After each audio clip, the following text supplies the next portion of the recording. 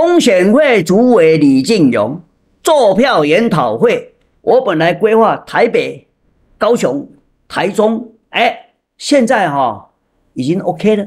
早上我已经把哈关东旗已经哈吩咐做好了哦，然后我现在开始在挑良辰吉日。中选会主委李进勇，为什么你的开票结果被一条换成被一条直线所控制的？这样对不对？是是是，够专业的吧？是哦，哎，研讨会，台北场我们会选择在哈台大校友会馆，礼某一个礼拜六、礼拜天的下午，在这两个礼拜之内，请咱大家乡亲到处以啊，请做完大旁场，待把个研讨会讲完，我们要去高雄，我们要去台中，如果还有继续有 sponsor 资助者哦支持者，我们会到花莲、宜兰，请大家乡亲讲到关心到处去。如果台湾不要让民进党万年执政的话，请你来看我们的中选会主委李进勇，你已经做票两次了，你还要做票几次？研讨会，做票研讨会，要持续观看我们的节目，看诶什么时候真正的诶，你你你去把这个诶议程敲定，好不好？好，礼拜六、礼拜天下午这两个礼拜之内，我们就会办。哦啊，请咱乡亲拜六礼拜下下晡，因为我现在整个 schedule 的进度哈，第一关东旗要做好，第二所有联络事情都敲定，可能会在十四天之内。阿强咱乡亲赶快到注意。中选会主委李金勇决定说给这个人当就给这个人当。对，而且这个还还有这个呃工工程的高手啦，我相信今天还有工程高手。对，那反正这个。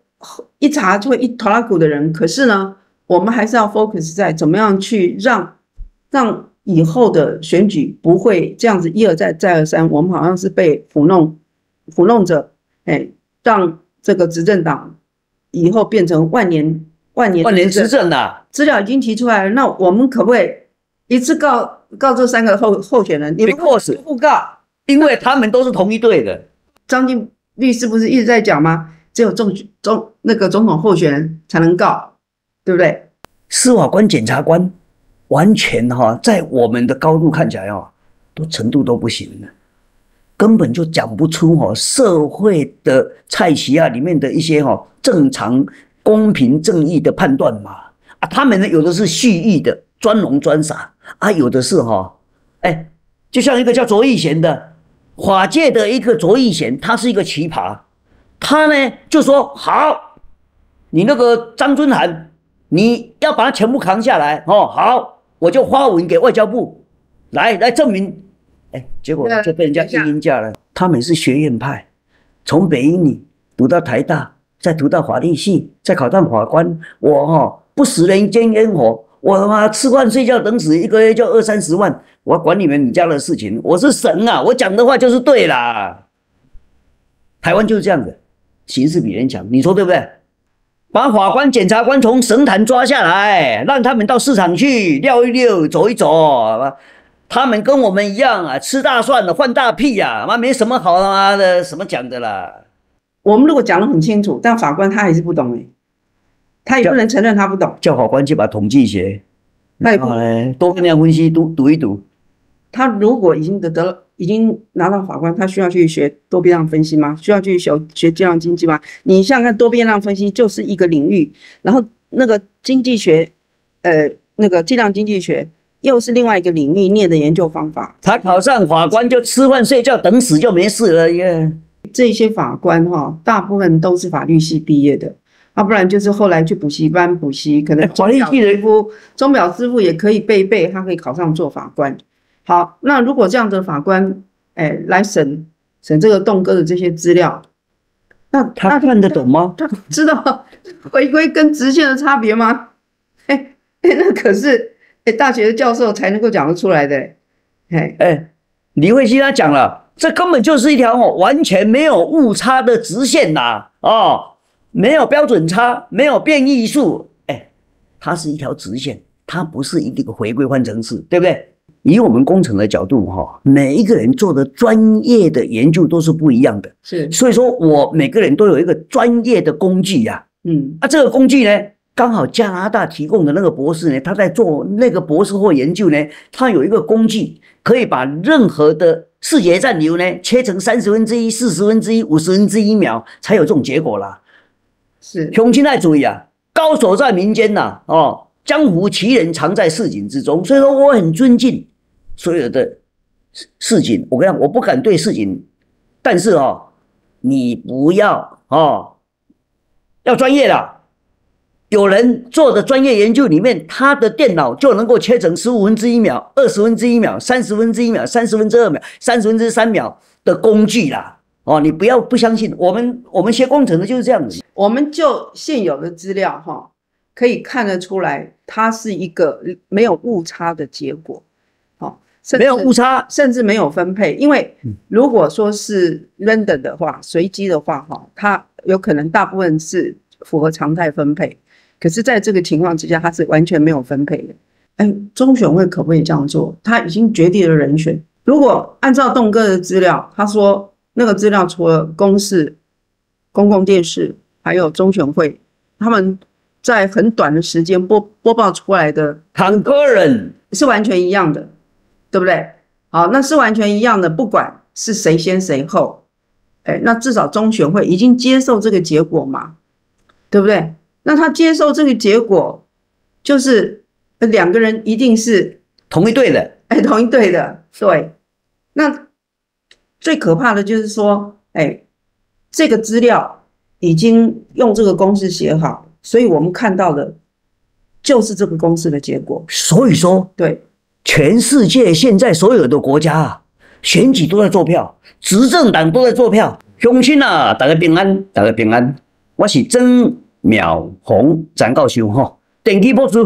今仔日呢，咱个邀请到李慧熙李博士，无读什么书啦，统计统计吼，歌手小弟电机博士，看伊吼对统计学的造诣啊，歌手过招。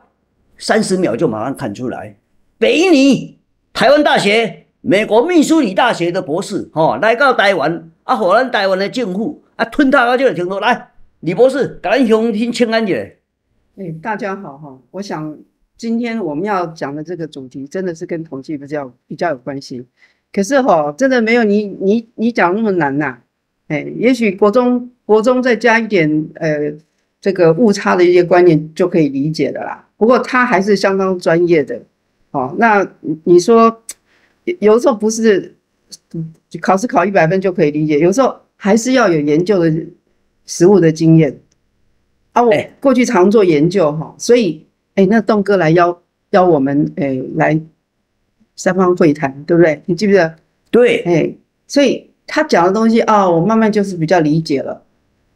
其实哈、栋哥哈、他是走实务啊，我们哈、是学院派，尤其这个人是学院派，理论基础、统计学哈、他的功力啊，教研究方法、统计学的功力，我一看下去哈、彭文正跟他比哈、我我他绝对不会在彭文正之下。啊，不要不要不要不要不要这样说哈！我这个人一定要记得，我其实都不太喜欢自夸的。哎，彭彭教授他也是很厉害的，不过，哎，在哎每个人做到呃教授哈，都有各有专精的地方啦。哎，那我我比较走的是呃计量经济的部分，那当然这个都是跟统计有关系的。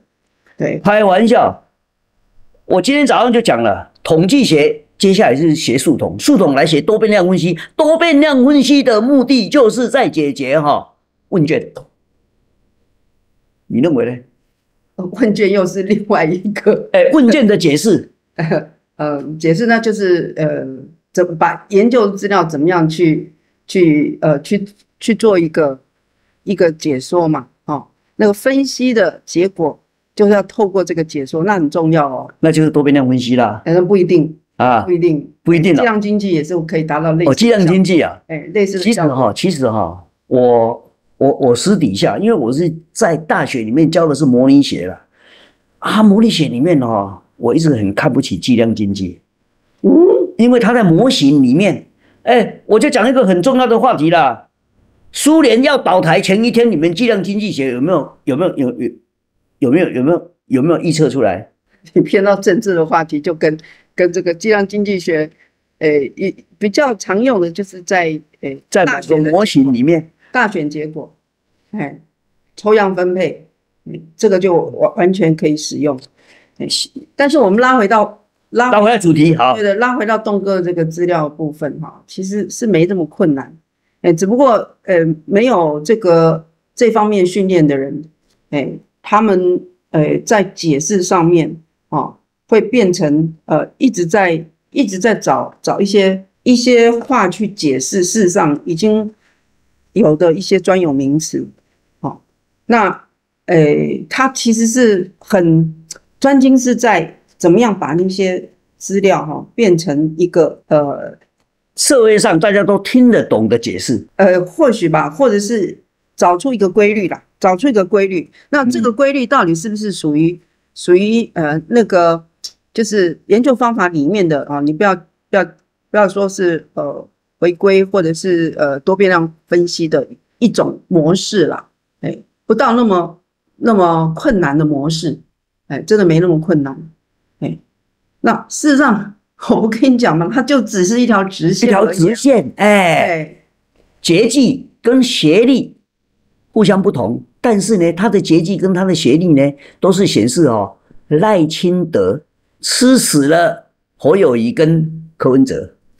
是，那其实我们回归到这最根本的问题，就是，哎，中选会可不可以这样做？他已经决定了人选。如果按照栋哥的资料，他说那个资料除了公视、公共电视，还有中选会，他们在很短的时间播播报出来的 concurrent 是完全一样的，对不对？好，那是完全一样的，不管是谁先谁后，哎，那至少中选会已经接受这个结果嘛，对不对？那他接受这个结果，就是呃两个人一定是同一队的，哎同一队的，对。那最可怕的就是说，哎，这个资料已经用这个公式写好，所以我们看到的就是这个公式的结果，所以说对。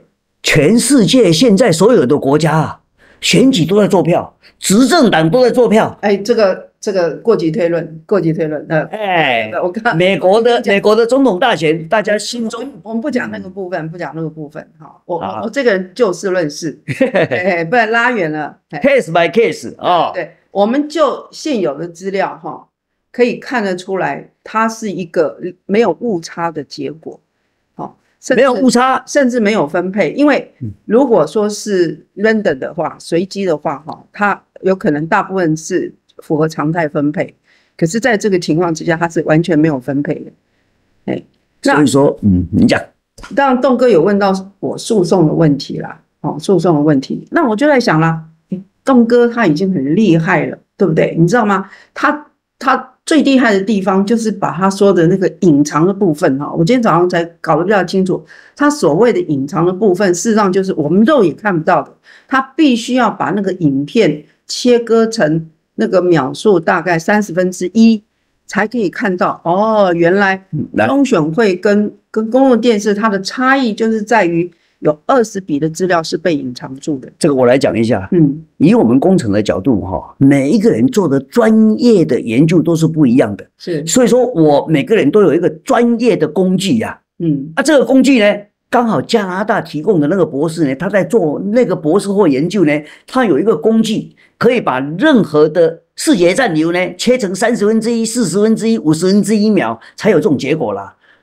是，雄心爱注意啊，高手在民间呐、哦，江湖奇人藏在市井之中。所以说，我很尊敬所有的市市井。我跟你讲，我不敢对市井，但是哦，你不要哦，要专业啦。有人做的专业研究里面，他的电脑就能够切成十五分之一秒、二十分之一秒、三十分之一秒、三十分之二秒、三十分之三秒的工具啦。哦，你不要不相信，我们我们学工程的就是这样子。其实哈、切是一回事哦，还要发现说，哎呦，还有一些看不到的地方，那才不容易嘞。那你怎么会有有想到要去切这么细呢？一般我们肉眼看得到，哇，那就把这个资料拿来打一打，然后去套一套。诶，他怎么会想到要去签呢？这就是哈、他为什么能够拿到博士学位，这就是他的准专业嘛，is is professional 嘛，，is professional potential 嘛。嗯，好，那我们其实哈要脱离，呃，不是脱离，就是说再走前进一步。哎，就是栋哥他有提到这这个结果呢，要诉讼的话，那我就去想到，哎，法官他有这个训练吗？哎，他有这个专业吗？对，因为每一个每一个系所他们的那个专业的训练是不一样的。那这也也是我们常常在质疑的，就是这这些法官哈，大部分都是法律系毕业的。要不然就是后来去补习班补习，可能法律系的夫、钟表师傅也可以背背，他可以考上做法官。好，那如果这样的法官，哎，来审审这个栋哥的这些资料，那他看得懂吗？他知道 回归跟直线的差别吗？哎哎，那可是哎大学的教授才能够讲得出来的。哎哎，李慧熙他讲了，这根本就是一条哦完全没有误差的直线呐！哦。没有标准差，没有变异数，哎，它是一条直线，它不是一个回归方程式，对不对？就是它是一条直线，哦，那而且没有误差，没有误差，哎，就是作弊哎。好，那那我问你，我们如果讲得很清楚，但法官他还是不懂哎，他也不能承认他不懂，叫法官去把统计学，那好嘞，多变量分析读读一读。他如果已经得得了。已经拿到法官，他需要去学多变量分析吗？需要去学学计量经济吗？你想想看，多变量分析就是一个领域，然后那个经济学，呃，那个计量经济学又是另外一个领域念的研究方法。他考上法官就吃饭睡觉等死就没事了耶。这个这个我我是不这样评论的，但是这个好像就是目前的现象。形势比人强就是这样子啊！哎，法官的本职学能比你统计上的功力。比我 C four I 啥功力，我讲的他们都听不懂啊！啊，所以怎么办呢？如果所以说，他去诉讼是不是会碰到？哎，法官摆烂呢？把法官、检察官从神坛抓下来，让他们到市场去溜一溜、走一走。他们跟我们一样啊，吃大蒜的换大屁呀！妈没什么好他妈的什么讲的啦。所以，所以我我我一直以来哈都认为哈。这个法官应该从各行各业出来，就像国外一样，哎，不要大学部都是念法律的，然后研究所，然后博士班，通通都是在那个框架里面背那些法条。可是你真的碰到实务上面的问题，你那个论理法则，基本的论理法则要懂。就像你之前一直在讲回归，我就就我就一直不认为它是回归，对不对？你你即使你是博士，你还会有这个 confuse，对不对？哦，那法官他又贵为法官，他怎么会听得进去我们这一个学者告诉他回归跟直线的不同？哎，他如果要用他自己想当然当然而认为是有误差的，哎哎，他有误差的话，你去做裁判，他就有可能，他就我我栋哥如果去诉讼，就有可能会败诉哦，对不对？最重要的原因是啊，检察官、法官听不懂我们在讲什么东西啊。啊，对呀，他听不懂，那他怎么审？这个比医学的还困难了。我可以告诉你哦，这这医学的有些那个名词，你大概了解一下，你还可以抓住那个那个重点。可是呢，这个呃计量经济，或者是呃多变量分析啊，或者是好像有一种叫类神经网络，我想到啊，哎，neural，哎，这些都不是很简单，立刻可以懂的嘞。以前我们的那个计量经济学，如果可以写一个 model 出来的话，他就可以拿到博士学位嘞。哎，那跳好几阶耶，那学好多的课程才有办法，哎，去完成这个基础的基础的这个博士论文写作的内容。所以，我们台湾的这个法官呢，这个素养怎么样提升，这是我们我很担心的部分。哎，那你有什么建议呢？因为哦，他们是学院派，从北英女读到台大。再读到法律系，再考上法官，我哦不食人间烟火，我他妈吃饭睡觉等死，一个月就二三十万，我管你们你家的事情，我是神啊，我讲的话就是对啦。台湾就是这样子，形势比人强，你说对不对？啊，是啊，所以我们要怎么去改变？是目前，呃，曾曾博士，你你也是司法改革党的，你有什么好的建议呢？我的建议啊，我的建议是哈。检察官法，我我我感觉啦，司法官、检察官，完全哈，在我们的高度看起来哦，都程度都不行了，根本就讲不出哈社会的菜奇啊里面的一些哈正常公平正义的判断嘛。啊，他们呢有的是蓄意的专浓专傻啊，有的是哈，哎，就像一个叫卓义贤的法界的一个卓义贤，他是一个奇葩，他呢就说好，你那个张尊涵。你要把它全部扛下来哦，好，我就发文给外交部，来来证明，哎，结果就被人家阴阴架了。那是另外一个主题，那是另外一个主题。他即使是一个好法官，可是如果他来审这个案，他也是面临到同样一个问题，这个基本的，呃，论理的基础他欠缺。没有啊，他就红灯直直走啊，他就一直走啊，哪哪知道被叫回来了，一阴架去吧。可是我们现在面临的就是好栋哥的这这这些问题，除非啊，我们能够转成一个法官容易理解的一个概念啊，比如说这个直线啊，就是说我的给的那个呃时间点，哦，到下一个时间点之间啊，假设是一秒钟，我在一秒钟前我就知道下一个下一秒钟就要开什么票。哎，那也许这样法官就懂了。你不要去讲那个方程式，是不是？哎，栋哥不是最近都在表现这个吗？来，我叫他下一次开什么票？我叫他下个下。哎，就是要用这种通常话去讲啊。这叫蔡奇亚维。好，那你你预测出来的结果啊又怎么样？哎，他说你不是总统候选当选人，你是叫做不适格，你你你你不能去告的意思啦。哎。如果你告错的话，你你变成你会输掉哎。他说你不适格，因为你张晋律师不是一直在讲吗？只有总总那个总统候选人才能告，对不对？可是我在这点，我其实跟呃跟我们党主席有点不一样的概念，也不一样哎，因为我因为我们告告的是中选会，对不对？我们告的是中选会，哎告的不是不是那个，呃呃选举无无效，好。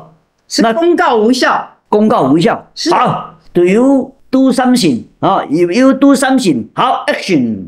你要准备怎么做？结论？我要怎么准备怎么做？嗯，嘿，那就是看栋哥，哎，怎么样去，呃，去把这个资料呢，呃，变成诉讼的资料。这样，变成诉讼资料，你你还是必须要，呃呃，语言化，哎，市场化。对对对对对，菜奇亚化。是，然后把它转成诉讼可以可以作战的资料。然后，其实我有想过，哎，我们百姓可不可以一次告三个？比如说他们要互告啊，我们现在把这个资料资料已经提出来了，那我们可不可以一次告告这三个候候选人？你们互告，因为他们都是同一队的。对，我我排他同一队啦。哦，是不是讲好了？有的人先给的那个基数比较高，哎，有的基数比较低。对，然后这个诶，结果栋哥这样已经讲了不知道几个月了，诶，那你们知道的其他两个人为什么不去告？好，所以说哈，还是他不知道，所以我我记得你你跟我讲，好像你要你要做大事了，是不是？你要不要广告一下？你要做什么大事？好，听好，哎，我先让你讲一分钟结论，再来我讲一分钟结论，好吗？好，你要不要？好，好啦，我我做结论。就是呃，栋哥资料做的真的很辛苦，可是哦，面临到说要怎么样去走诉讼的路，因为他的资料做出来只是让观众朋友知道说我们国家目前的现状是怎么样，是被做票了，哎，可是呢，要改变这个结果哈，让这个总统候选人不会是中选会点到改进的啦。嗯，哎，他还不是点到，他帮我们剪的啦，哎，他自己决定的啦，哦，他后面还有李进勇一个人，中选会主委李进勇决定说给这个人当就给这个人当，对，而且这个还还有这个呃工工程的高手啦，我相信你还有工程高手，对，那反正这个一查就会一拖拉股的人，可是呢，我们还是要 focus 在怎么样去让让。以后的选举不会这样子一而再再而三，我们好像是被糊弄，糊弄着，哎，让这个执政党以后变成万年万年万年执政的，对，哦，那所以最后还是要用诉讼去推翻。但大家对诉讼，呃，司法是没有什么信心的。可是你不走的话，哈，它永远就是停滞在那里。你说我讲的对不对？Yes sir。哎，所以你先，呃，讲一下接下来你好，样听好，轮回的，哎，听好，轮回的这个，诶，好，我检讲讨会，好。对，中选会主委李进勇做票研讨会，我本来规划台北、高雄、台中，哎，现在哈、已经 OK 了。早上我已经把哈、关东旗已经哈、吩咐做好了哦，然后我现在开始在挑良辰吉日。中选会主委李进勇，为什么你的开票结果被一条换成被一条直线所控制的？这样对不对？是是是够专业的吧？是，哦，哎，研讨会，台北场我们会选择在哈、台大校友会馆，礼某一个礼拜六、礼拜天的下午，在这两个礼拜之内，请咱大个乡亲到处去啊，请做完大旁场，台北的研讨会讲完，我们要去高雄，我们要去台中，如果还有继续有 sponsor 资助者哦支持者，我们会到花莲、宜兰，请大个乡亲讲到关心到处去。如果台湾不要让民进党万年执政的话，请你来看我们的中选会主委李进勇，你已经做票两次了，你还要做票几次？研讨会，是所以大家要期待哈，这个很不容易的，哎，终于，呃，在在现在经济呃房价高涨，经大家好像手头还蛮呃没有办法很阔绰，还愿意来赞助这个曾博士的这个研讨会啊，所以大家购票研讨会，要持续观看我们的节目，看诶什么时候真正的诶你你你去把这个诶议程敲定，好不好？好，嗯礼拜六、礼拜天下午这两个礼拜之内，我们就会办。哦，啊，请咱雄听拜六礼拜诶下播，因为我现在整个 schedule 的进度哈、第一，关东旗要做好；第二，所有联络事情都敲定，可能会在十四天之内。阿强跟红军改来到注意，安内赛呗。好好好，那我们今天就先到这里哦。好，OK，好好，拜拜，拜拜。